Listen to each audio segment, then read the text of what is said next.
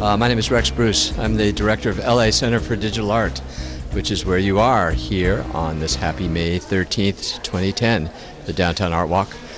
This exhibit is called Top 40.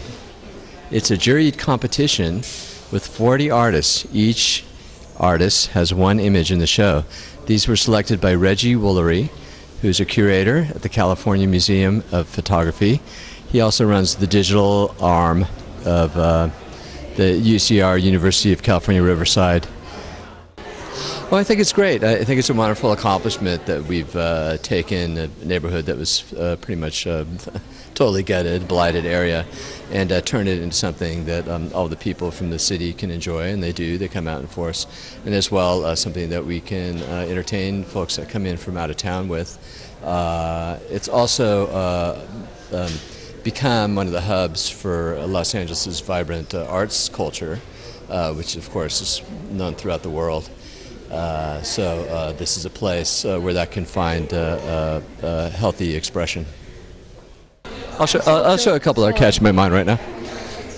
over here,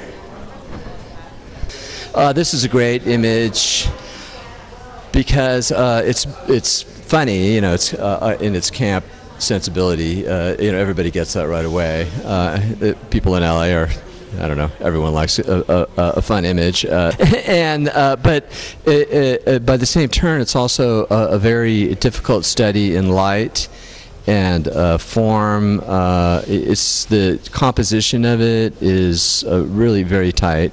She's used that contrast or that element that you barely register to uh, make a, an image that's very taut and very punchy. That photograph there. Um, yeah, it's it's a digital photograph, and it, it's actually it may look like a straight photograph, but that thing has been stretched and bent and uh, adjusted. Uh, it's perfectly straight if you look at the lines. This is by Wanda Boudreau. She she does uh, Polaroids that she then digitizes and then uh, alters and uh, creates a digital image from. Uh, there's a lot of people here that do do hybrid processes between analog, traditional analog forms, maybe a Polaroid maybe some paint. You know, there's all kinds of things. That doesn't scare me off. They bring that into the computer and then they, they uh, manipulate it, and it's a vital part of their process to use the computer to create their end product anyway, so uh, it, it's great, you know, to have a, a, sense of compassion for the abused trees of our city. I mean, it really, it really is kind of sad, and it's something that really needs to be thought about.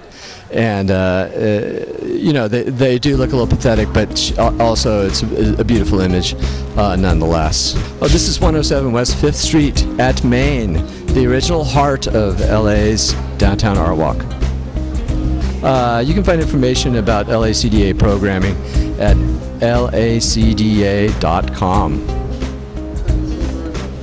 You're very welcome, Blaze.